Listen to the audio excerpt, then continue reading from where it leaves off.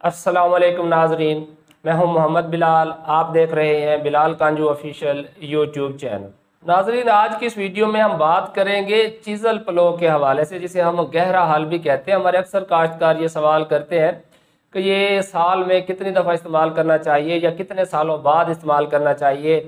कितनी गहराई तक ये ज़मीन की कटाई करता है, यानी हल जाता है? और इसके क्या फ़वाद हैं? तो पहले तो मैं आपको ये बताता चलूँ कि जो हम आम हल इस्तेमाल करते हैं ना, उसे हम कहते हैं कल्टीवेटर तो ये ज़्यादा से ज़्यादा चार इंच या पाँच इंच गहराई तक जाता है, वो भी अपना ट्रैक्टर हो। तो जो हम यानी कि किराए पर ज़मीन तैयार कराते हैं तो वो तो इतनी डेप्थ तक हल लगाते ही नहीं है फ्यूल भी बचाते हैं और अपने ट्रैक्टर की जो लाइफ होती है, उसको भी सिक्योर करते हैं। जबकि ये जो चीज़ल हल है, ये अमूमन पाँच फालों वाला भी होता है और तीन फालों वाला भी होता है। तो इसकी जो गहराई है वो पंद्रह इंच तक है। बाद दफ़ा इससे भी ज़्यादा जो है वो गहराई तक ले जाया जा सकता है। तो यानी ये पंद्रह इंच तक तकरीबन ये हो गया हमारा सवा फुट।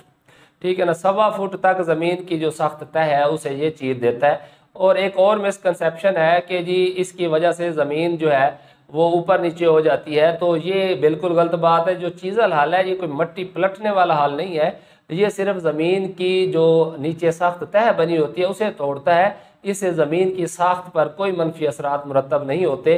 ज़मीन लेवल भी रहती है और ज़मीन के जो स्ट्रक्चर है वो भी बरकरार रहता है। वो और हाल होता है जिसे हम मट्टी पलटते हैं तो उसमें थोड़ा सा मसले पेश आते हैं। इसके लिए मिनिमम 50 हार्स पार का ट्रैक्टर होना लाजमी है, लेकिन जितना ज़्यादा हार्स पार वाला ट्रैक्टर होगा, इससे उतने ज़्यादा अच्छे रिज़ल्ट लिए जा सकते हैं। यानी कि आप यूँ देख लें कि इसकी तकरीबन जो है ना, इसके अंदर अगर पाँच फाले हैं तो ये टोटल इसका वज़न तकरीबन 200 किलो बनता है। यानी पाँच, मन ये वज़नी होता है तो अगर जितना अच्छी पावर वाला ट्रैक्टर होगा तो ये ज़्यादा गहराई तक ज़मीन की जो है, वो सख्त है को तोड़ेगा। और ऑन एन एवरेज अगर हम बात करें, जो नॉर्मल स्पीड होती है, ये हल लगाने की तो तकरीबन एक घंटा लग जाता है एक एकड़ में चीज़ल हल लगाते हुए। और इसका तकरीबन तीन सालों में एक दफ़ा इस्तेमाल लाजमी करना चाहिए। ख़ासकर उन रकबों में जहाँ पर सख्त तय होती है या जो ज़्यादा भारी ज़मीन है सख्त ज़मीन है। रेतले रकबों में तो इसका इस्तेमाल ना भी करें तो चल जाता है। लेकिन बरानी इलाका जात में इसका इस्तेमाल बड़ा फ़ायदा देता है और मेरे ख्याल में लोग तकरीबन हर सीज़न में इस्तेमाल करते हैं।